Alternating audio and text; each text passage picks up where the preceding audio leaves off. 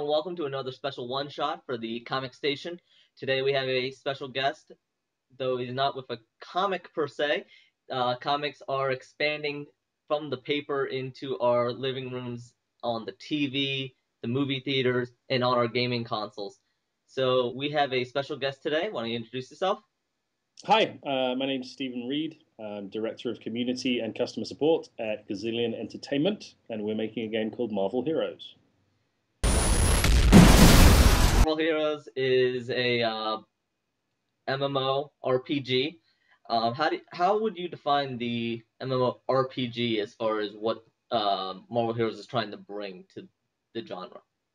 We call it a massive online RPG, um, partly because it's just easier to say um, uh, online action RPG, I should say, because the action part is is very important to us.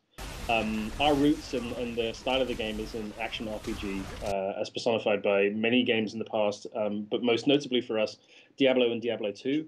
Um, David Brevik, who's president of the company, was one of the co-creators of Diablo and Diablo 2, so obviously has a lot of experience in you know the formative years of the genre.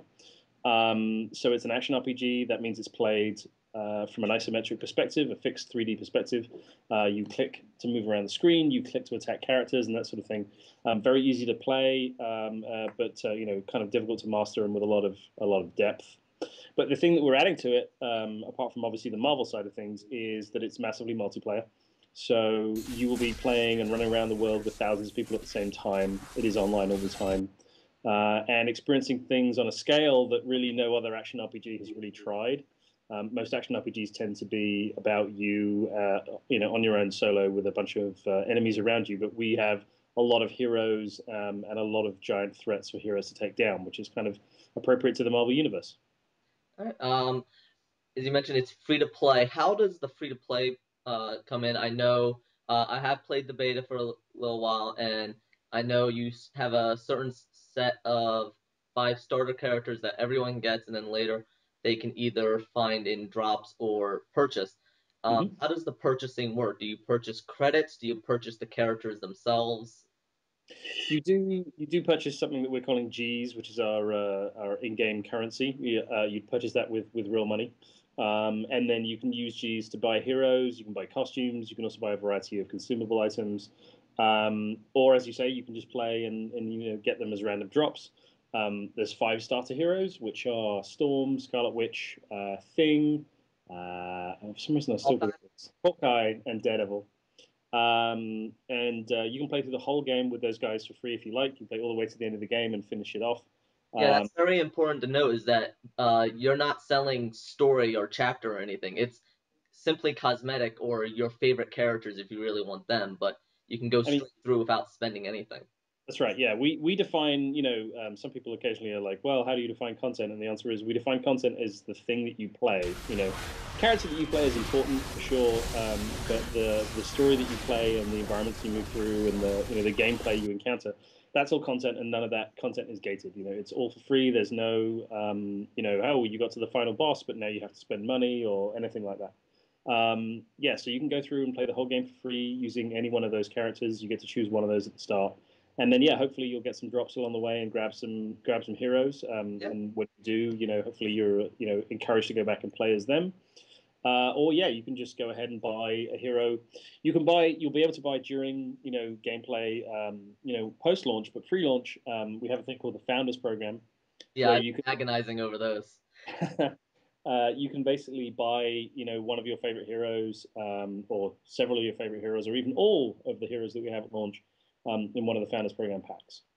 Yeah, uh, the Founder packs. I know you have the first one is if you buy one character, you get a, for uh, twenty dollars, and you get a, spe- uh, a bunch of other stuff thrown in it as well.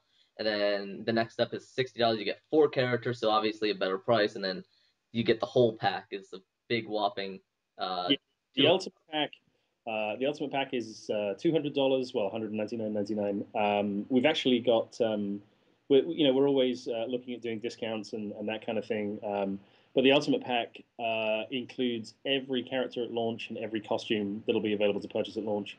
Um, so yeah, it's it's easily the best value. Um, it also includes you know bonus currency boosts uh, and a couple of permanent account level buffs uh, on your XP and item find. Um, so yeah, it's, it's really cool. And of course, there's the four exclusive costumes, um, which are only in, available in the Ultimate Pack, which include uh, the Iron Man Mark 42 armor, which is going to be seen on screen in about ooh, a month now. Um, yeah, um, the Hulk Maestro costume, which is Hulk when he was kind of uh, sort of a, a, story where he ended up in the future and you know he ends up kind of being bad, but uh, it's a cool looking uh, Hulk outfit. And uh, Wolverine as Weapon X, which is kind of when he was running around in the forest just yeah. after he escapes the Weapon X program. Wolverine's one of my favorites. Yeah, and, and the one that most people get very excited about is the Spider-Man symbiote costume, um, right after Spider-Man came back from Secret Wars, um, he had uh, the symbiote outfit and was running around using it as Spider-Man, and we've we've created a costume that kind of pays homage to that. So he has um, uh, special visual effects, different animations, and all that kind of thing. So really trying to make him very special for people. All right. Well, each of the characters they they don't only bring their unique look or their appearance to it as well. It's not just a costume, but each char- each character uh, has their own powers, has their own abilities.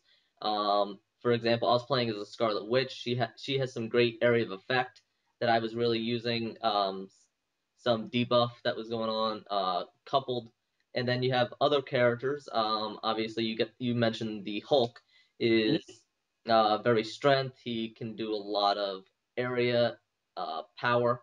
Iron Man was uh, I found uh, very one on one, very strong one mm-hmm. character at a time, weeding down the enemies. Um, so, but each character has their own abilities, and then to differentiate that further, you have the loot, um, different armor pieces, different uh, gloves, costumes, uh, let's see, the uh, headgear, so forth, and they all add different things, different uh, attributes to help you differentiate your character. So even mm-hmm. though I may that's another thing in this game is you can run into multiple Scarlet Witches. Yep. Each one's going to be a little different based on how the person plays, how they've uh, built up that character. Yeah, that's the idea. Um, every character is going to have access to at least 21 uh, powers, and um, basically they can uh, you can build up your power tree in, in whatever way you decide to you know to build it. Um, there aren't too many restrictions on that. Um, we've got obviously passive and active powers as well. So the idea is, at least we hope, that people will um, go in and create their own version of Scarlet Witch or their own version of Wolverine, and, and you know enjoy um, creating them the way that they want to create them. And then, as you said, um, we have loot. Uh, loot is a little different in our game than other action RPGs in that you don't see it change your character visibly. Um, but that's not really you know a big deal because we have a, a ton of alternate costumes in the game as well, which can be found again as random drops. Alternate costumes change your character's from head to toe. Mm-hmm. Um, loot is um, basically a, you know stat only, but um, loot uh, can really change you know the way that your character plays in a variety of ways. Many pieces of loot will grant um, powers um, or, or, bonus to your powers, ranks in, in, certain powers, and then we have all kinds of affixes. You know we have damage reflection and freezing and damage over time and you know uh, health grants and health regeneration, um, movement speed, attack speed. There's a pieces of loot, and then the loot is um, unsurprisingly, uh, green, blue, uh, purple. You know, sorry, yes, no, that's right. Yeah, and then up to like orange and um, yeah, it's really e- really easy to tell as soon as it drops. Do you want to pick that up? Like yeah, after after a while when my inventory was getting full, and you do have an inventory based on slots, not on uh, size or weight or anything, and uh, so once I started getting full, I started only picking up green and above and so forth. So yeah, but we have we have some systems in place for like you know using that loot as well. For example, we have um, crafting and um, we have uh, gear and armor vendors that you can donate your unused gear to. It gains them experience, and then they level up in power so that they give you better better stuff. Or yeah, case, um, I, I wanted to point that out because I thought that was a really really well way of balancing and a little give and take because uh, like you said, you can change it in and you can either cash it in for cash uh, to help you buy new armor pieces uh, from these uh, vendors, or you can give it to them to build up their experience, which will let them sell you later better material as well, better armor. So mm-hmm. it's kind of uh, I don't want to say catch 22, but a kind of balancing act here is do you want to give them a whole bunch of loot and depend on drops in the sake of le- leveling them up so that you can buy better stuff later, or do you want to just get a lot of gold now and be able to buy stuff and everything right then? Yeah, I think most people end up doing a balance. You know, like you, mm-hmm. you need credits for some things, so sometimes you have to sell that stuff, and then you know other times uh, you know you want to get the XP, but uh, the lure of getting better loot and getting better crafting recipes is often pretty strong. So you know I find myself donating a lot of stuff, but it does mean that you know what you were saying of like oh, I'm just going to leave these these grays on the ground. You know they all have some value. You know so. Yeah. You, you kind of want to get everything and then take it all back to town and, and you know deal with it deal with it there. So yeah, there's a lot of um, uh, choices that you've got to make, you know, as, you, as you're playing, you know, which which makes it interesting. That that's what action RPGs are about, you know, choices and and uh, and making meaningful choices. But um, the other thing I was going to say was that uh, uh, yeah, every character is designed to sort of play differently, and what we, try and do is make sure that um, you really feel like you're playing those Marvel characters. Important to us, and, and that's really a big deal. And, and making it as authentically Marvel has been a big. Yeah. Um, one of the things I wanted to ask is how does because uh, you have so many players, massive multiplayer online usually have what are uh, I believe are called shards. Um, are they based on server location? Um, how many players can be on a shard or anything at a time? We're still um, we're still testing that to a certain degree because um, we're still doing closed beta testing. Um, it's going to be thousands of players. Um, the, the, the funny thing is, is the way that we, we do it, uh, and again, you know, we're not at final um, sort of final configuration yet. But um, our plan is that actually you won't see uh, a big list of different shards. Um, we will make uh, intelligent decisions based on things like, you know, who is on your friends list, um, or you know, where are your guild um, members, and that sort of thing. And then we'll place you on those shards um, automatically. Um, the majority of the game is played in these large open spaces, what we call combat zones, um, where sort of dozens and dozens of people can be at the same time. However, obviously, dozens and dozens of people is not a server, so we instance those zones. And then what happens is when you go in and uh, you you join a party with other people, you team up together. Um, you'll end up uh, opening a portal and going to that person, so you'll end up you know in the same space together. So the game is sort of intelligent on that. But from our point of view, in terms of which you know, server you're going to be on, um, it shouldn't really make a difference. Like you shouldn't really see anything um, from the point of view of um, your server select and that sort of thing.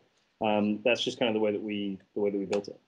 Yeah. Speaking of those, uh, what do you call them? The player loca- the locations that you start out with. Uh, you have locations where everyone's kind of together and joined, and then you have more, I guess, storyline based locations where you kind of go off a little bit more by yourself. Um, so you can play this if you want to. You can really play it through fairly single player if you want to. Um, besides those locations, you can kind of go on and get to the storyline. Um, but I really like that in the uh, player area that you have these. Uh, not only is it kind of randomly generating, so every time you come in and you say you go back and you play as another character, it changes a little bit. But um, you have these uh, mini missions, kind of side quests, where for example, uh, Hell's Kitchen, uh, you've announced was out there, and we, and that's where I've been spending most of my time in the beta. Um, like something will happen, and the muggers are attacking, uh, say the police station, and then you go help out the police station, and then arsonists are attacking in this other area, and you go help them there. Um, I'm usually not a multiplayer um, MMO player, but mm-hmm. I really, really like those. That got a lot of, uh, say, for the police station again uh, at one point there was like five of us helping out the police, and uh, I was Scarlet Witch, so I was debuffing the enemies while uh, taking sure that the guys didn't get surrounded, and really uh, fostered teamwork. Even though we just kind of came together, did that mission, and then separated again. Yeah, yeah. I mean, we, we deliberately designed those public combat zones to have a lot of uh, points of interest. Um, so what you're talking about there with the police and everything else is what we call discovery. Um, discoveries are basically missions, little missions that you find, um, and they can be as small as like literally like two mobs. You know, mm. uh, in some cases, a lot of times we put discoveries like inside instances, and they might be if you stop and wait for a second, you might see a little funny little exchange of dialogue or something. You know, it gives you a little bit of insight into the story or into the game world. Um, and then when you take those guys out, you know, you'll get a little message like, you know, I don't know, um, plans thwarted, and it'll say like plus, you know, 50 XP or whatever. Um, so you get a little bonus experience, um, you know, and those kind of things happen. That's on the very small scale. On the larger scale of the public combat zones, uh, an example as you gave there with, with Hell's Kitchen, we have a discovery where you have to basically stop uh, police uh, at a barricade of being attacked by a group of thugs. And then what happens is, is that event when it happens, um, you get a little counter going on there, and I think in this case you've got to defeat 40 different thugs, um, and that's easily done by a player over you know a few minutes of work. But if there's a group of you running around, or there's a bunch of people coming through randomly, everybody gets to contribute to that. Excuse me, and then if you manage to do it, um, then you get an XP bonus, and everybody does who participated in that mission. So, mm-hmm. um, so um, yeah, it's a lot of fun and keeps you engaged as you're running around in the zone. As you say, um, the zones, the public combat zones are randomized. Um, so you do find that as you go in again later on, you know, it's changed, it's random, and um, you'll find that uh, things aren't necessarily in the same space you expect. So things move around and entrances and exits can move. And the other thing that we do, which you may or may not have seen in the beta, we have these things, uh, we call them treasure rooms. Um, we might need to come up with a better name, but essentially that. Oh, that makes sense. I, I found uh, two of them off on the sides. Yeah, yeah, and we do have treasure in them. But these are little, little kind of tiny instances that are things like um, they're, they're, thematically appropriate to the zone, right? So, like in Hell's Kitchen, um, you know, there's a grocery store, uh, and you go in there, and it's being it's being held up by the magia, uh, Maggia, you know, who are sort of extorting these guys. So, you know, you'll take out a few of their thugs, and you rescue some people, and then you'll also maybe take out some of our elite mobs who are a little bit harder to beat, mm-hmm. and you know, you get a little treasure reward at the end of it, and that's instance for you. So yeah, you can go in and solo that, or you can go in with whoever's in your party. Um, and you can solo the game, um, but it is going to be it's going to be pretty tough. Um, you know, we're, we're putting in some of the late uh, stages of content right now, and I think it's safe to say that some of the last bosses and stuff are going to be pretty hard to take down. Um, it, it, fosters a lot of uh, teamwork, not just the difficulty, but the situations that you put them in, like the uh, like the random battles and everything. So. Yeah, absolutely. Yeah, certainly hope people can get together. That's you know kind of the fun things about Marvel and and also the game is like, oh, you know, we see a, a team Punisher and Wolverine, you know, Scarlet Witch and uh, you know Deadpool, you know, um, whatever you want to do. Um, that's that's kind of fun. And also, of course, the characters, you know, have voiceover lines and stuff that actually interact with each other, and and you know, there's little lines of dialogue and snippets that they say to each other. So you get a nice, cool Marvel feel when you're doing it, which is which is neat. Yeah, you uh you did a lot of uh just on the characters, but as you said, the uh the character lines, a lot of the locations. Hell's Kitchen, obviously, Daredevil and everything. Uh, New York, you have uh, the home bases. Uh, well, really, Stark Tower is the Avengers. Um, you have a lot of um, care about not just characters that you can play, but some of the NPCs. Uh, Nick Fury is an NPC, so forth. You get a lot of them on the sides. Uh, some of them may just be there to give you little uh, uh, quips or words about the world, and some of them may be there to give you missions. Um, you obviously have the weapons, you have all the armors. Um, you, you took a lot of care to put in details that uh, fans will notice. Yeah, yeah. I mean, you know, we're, we're all Marvel fans. You know, we want to make it as authentically Marvel as we possibly can. You know, so we've got a lot of details in there, a lot of Easter eggs. You know, we're even starting to put in missions now. We haven't really got a name for them yet, but we have some missions that you go and you talk to you know NPC heroes and stuff in the world. Like we have one right now where you get to learn a bit about the history of the Avengers from the point of view of the Avengers. You know, you get to talk to Wonder Man. He tells you about how he joined the team. You get to talk to Valkyrie. You get to learn about her interaction with the Avengers and her time in the Defenders and stuff. So there's actually a lot of really cool Marvel lore in there as well, um, which we're really excited to put in. You know, um, you know, we, have got whatever it is, 50, 60 years of Marvel history to draw on, and, and we're really happy to do so. You know, as far as we're concerned, you know, everybody's got their favorite period of Marvel history. Everybody's got their favorite characters, their favorite costumes, their favorite villains, and as many of these things as we can, we can, you know, we'll, do it. You know, so we're trying to get in as much as we can. Um, how did this project start? Did uh, Marvel come to you? Did you go to Marvel?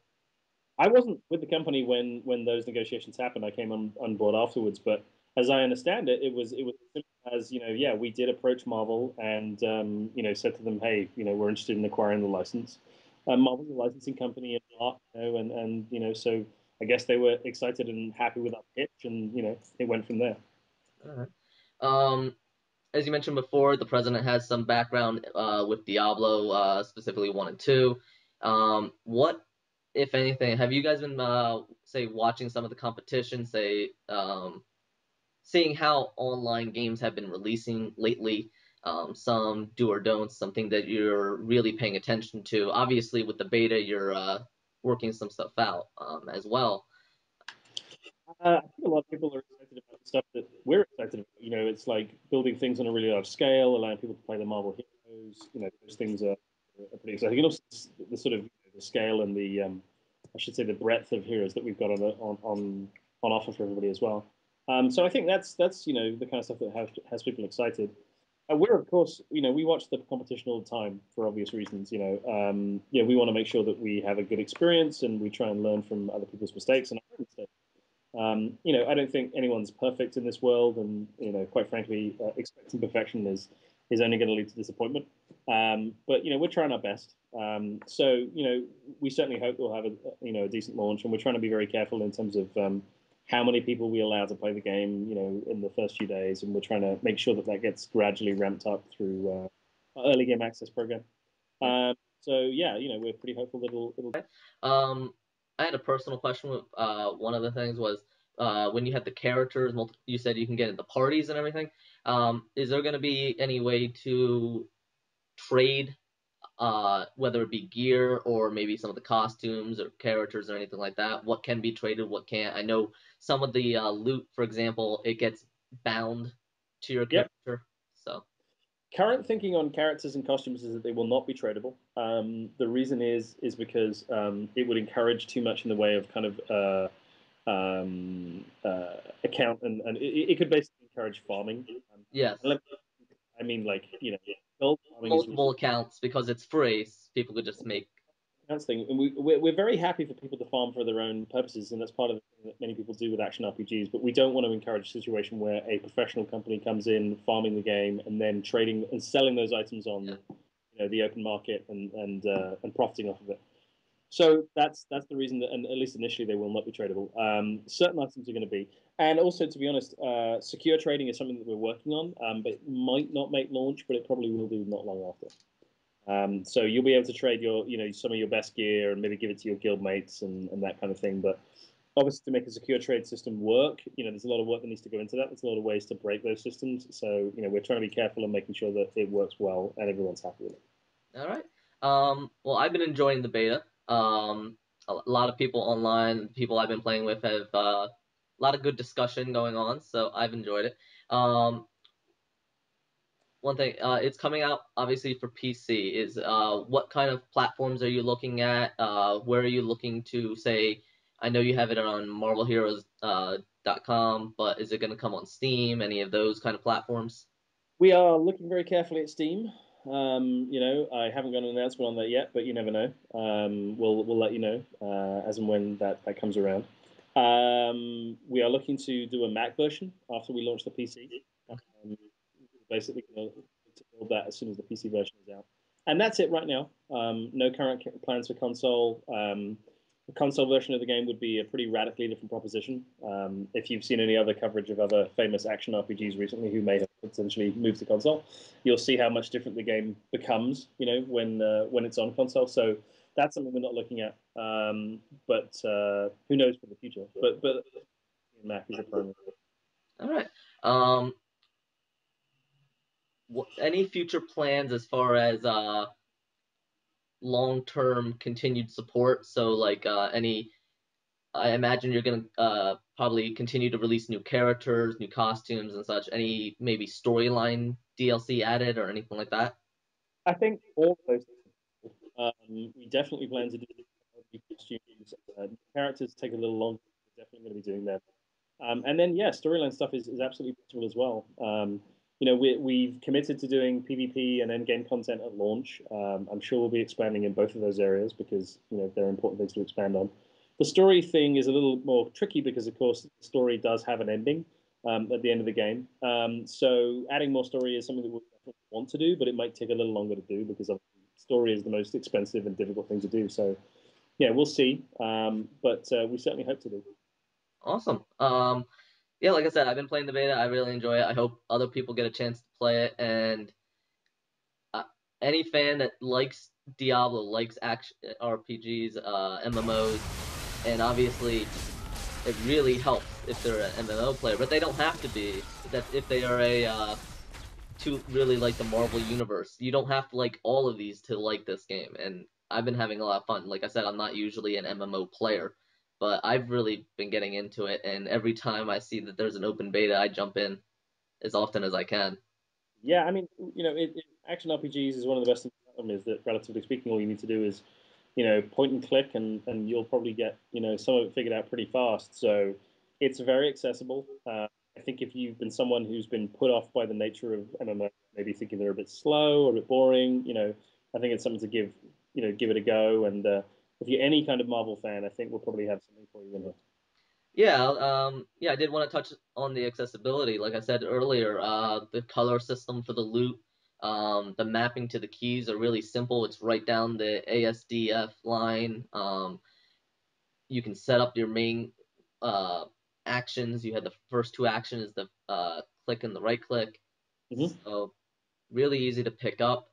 Uh, control, like you said, it's isometric, so you don't have to worry about the whole changing the camera and everything moving around. Um, yeah, I found it. I picked it up and got right into it. So yeah, yeah, it's it's pretty easy to play. Yeah. All right. Um, again, why don't you go over where we can pick it up when uh, I know it's coming out in June. When go over all that. Sure. Yeah, we uh, we launch on June fourth. Early game access starts on May twenty eighth for people who have got the Ultimate Pack.